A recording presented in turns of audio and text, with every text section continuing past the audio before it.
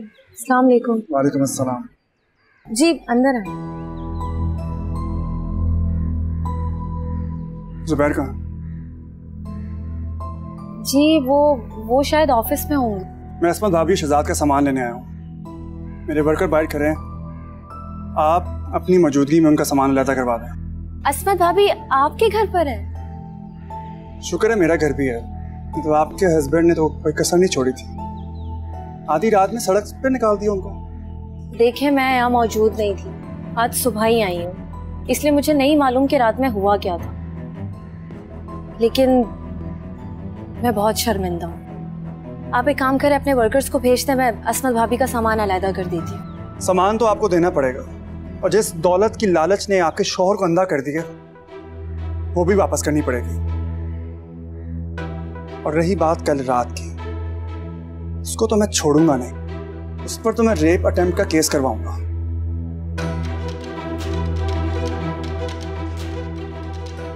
आ जाओ, सामान उठाओ।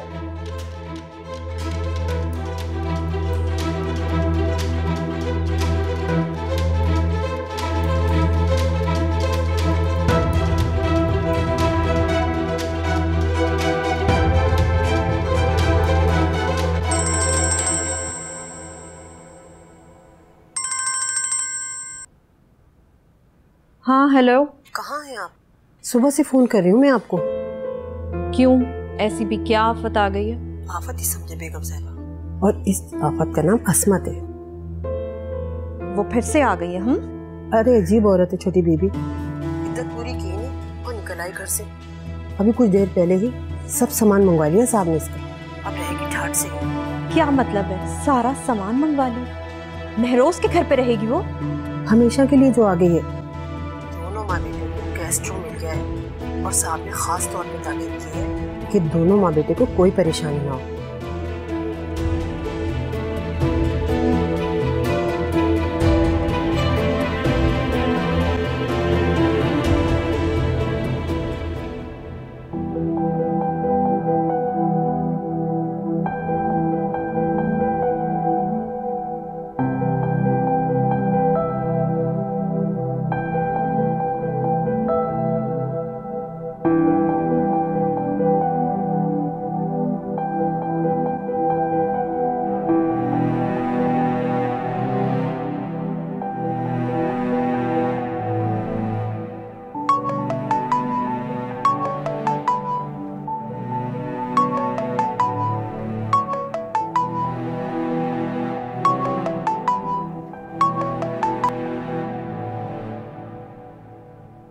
हेलो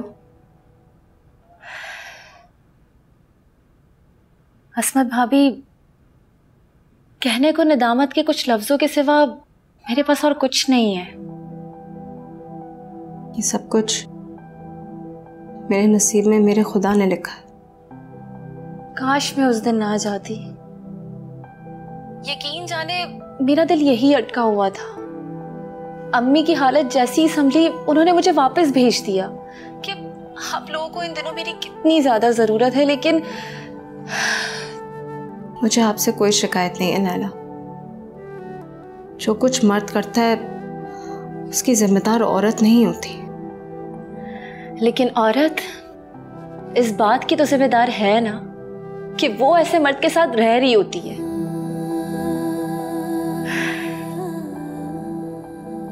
भाभी। बस मुझे इस गलती के लिए माफ़ कर दीजिएगा।